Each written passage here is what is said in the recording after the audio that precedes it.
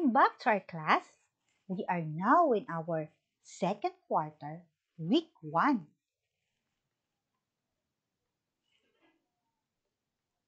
Today, we are going to discuss about earthquakes and faults.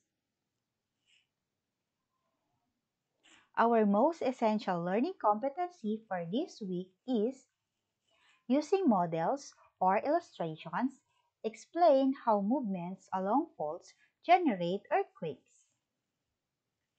Our lesson objectives are number one, describe what fault is and how these faults related to earthquakes. Number two, identify different types of faults. Are you ready? Let us answer the following question with true or false.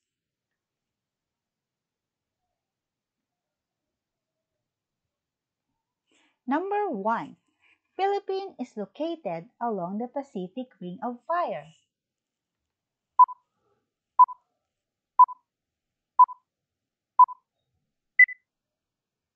What is your answer?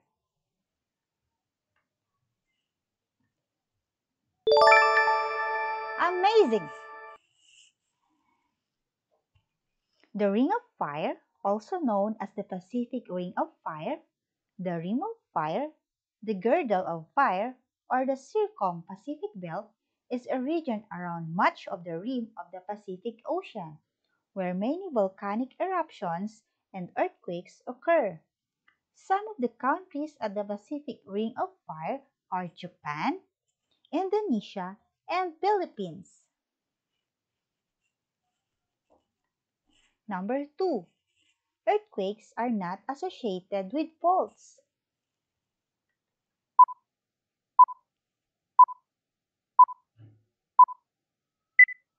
What is your answer?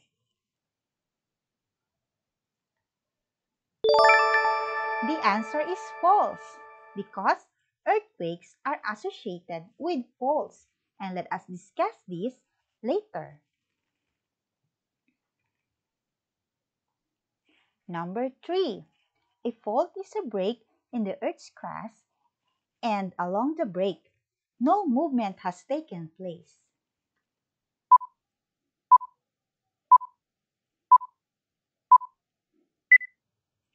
What is your answer? The answer is false.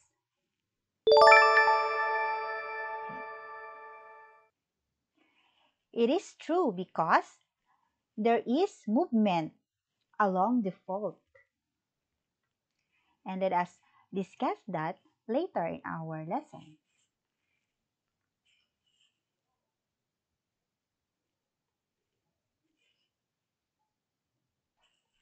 What is an earthquake?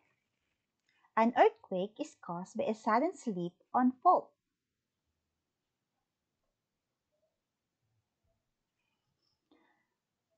The tectonic plates are always slowly moving, but they get stuck at their edge due to friction. When the stress on the edge overcomes the friction, there is an earthquake that releases in the form of energy in waves that travel through the Earth's interior and crust that cause the shaking that we feel. Have you experienced an earthquake?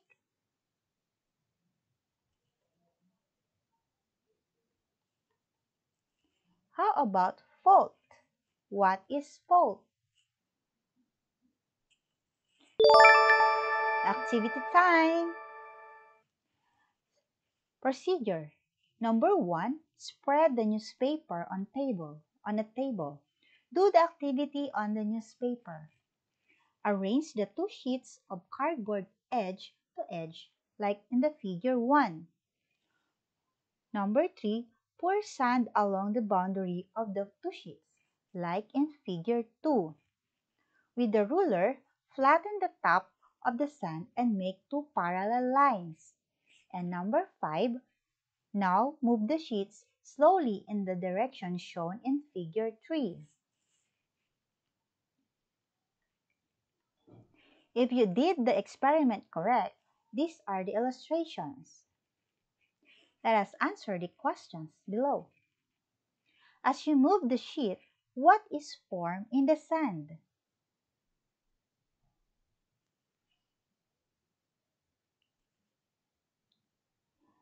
A crack, line, or break is formed in the sand.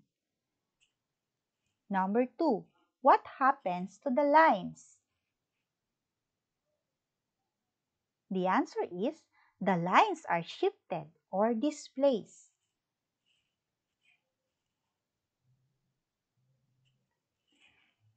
So what is fault?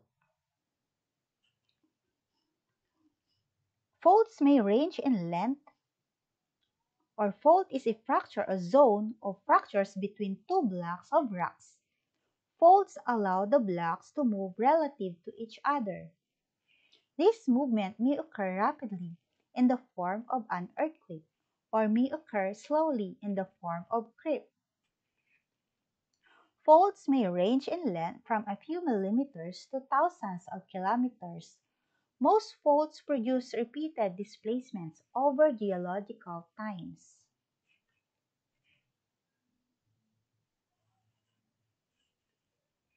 In the image below, can you point out where the fault is?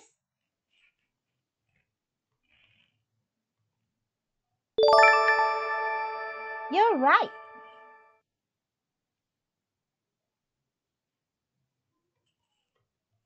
How do faults produce quakes? Energy from Earth's interior makes the ground move. Friction holds the rock together.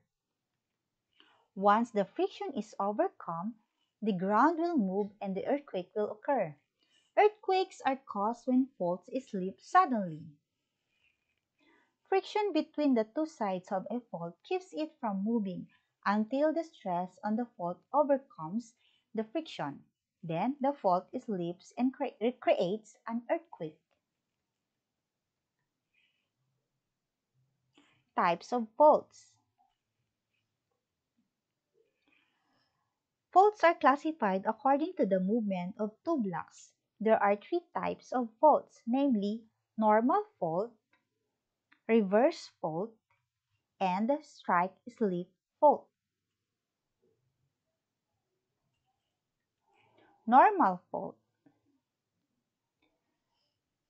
A dip slip fault in which the block above the fault has moved downward relative to the block below. This type of faulting occurs in response to extension. Occurs when the hanging wall moves down relative to the footwall.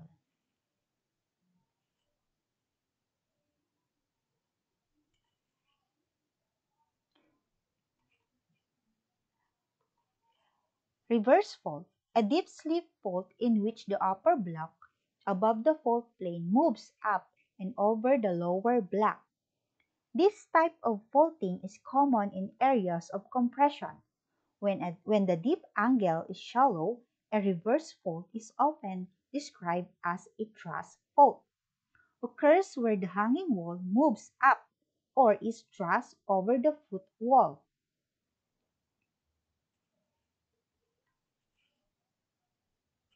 Strike slip fault. A fault on which the two blocks side pass one another. The San Andreas fault is an example of a right lateral fault. We have two types of strike slip fault, the left lateral and the right lateral. If you were to stand on the fault, and look along its length, this is a type of strike slip fault where the left block moves toward you and the right block moves away.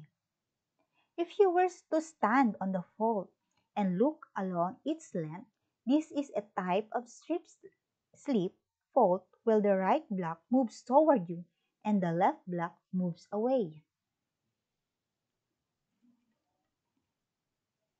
Now let us discuss the different types of stresses in the Earth's crust. Number one is compression. Compression pushes rock together. Compression is a type of stress that causes the rock to push or squeeze against one another. It targets the center of the rock and can cause either horizontal or vertical orientation. In horizontal compression stress, the crust can thicken or shorten. In vertical compression stress, the crust can thin out and break out, break off. The force of compression can push rocks together or cause the edge of each plate colliding to rise. Mountains are the result of high impact compression stress caused when two plates collided.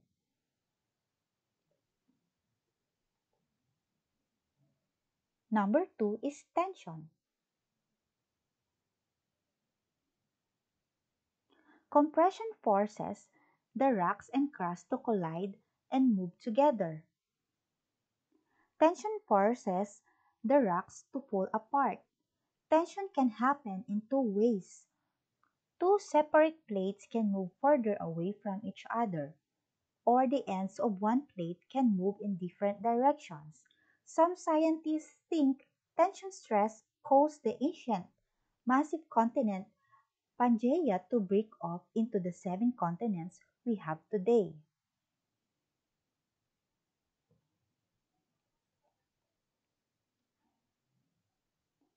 Next is shear or shearing. When shear stress occurs, the force of the stress pushes some of the crust in different directions. When this happens, a large part of the crust can break off which makes the plate size smaller. Shear stress usually happens when two plates rub against each other as they move in opposite directions. The friction of a shear stress of the edge of the plate can cause earthquake.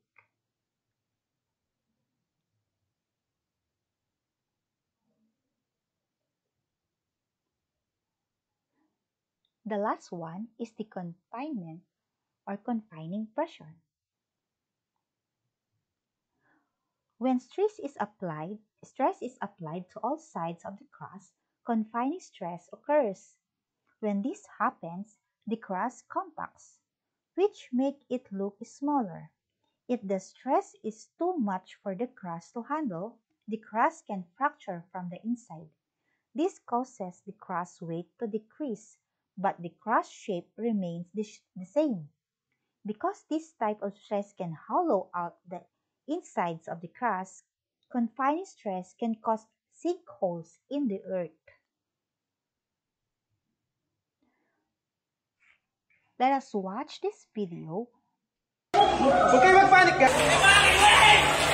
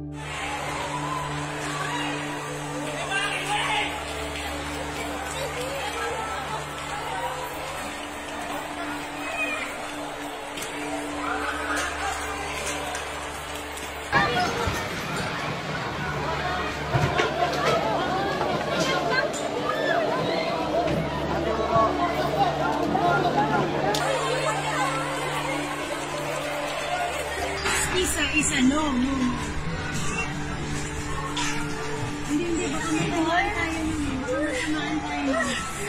God.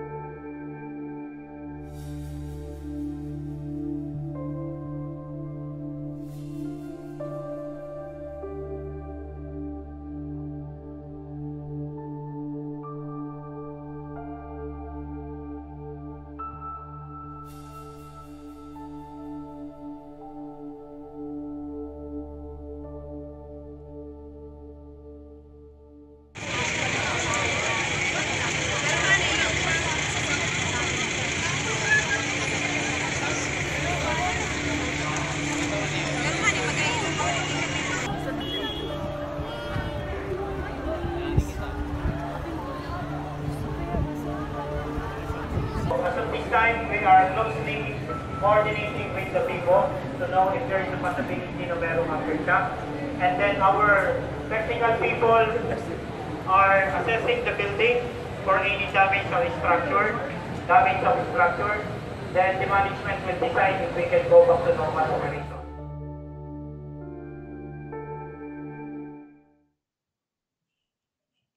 And that's all for this week. You may now answer your learning tasks in your modules. Thank you.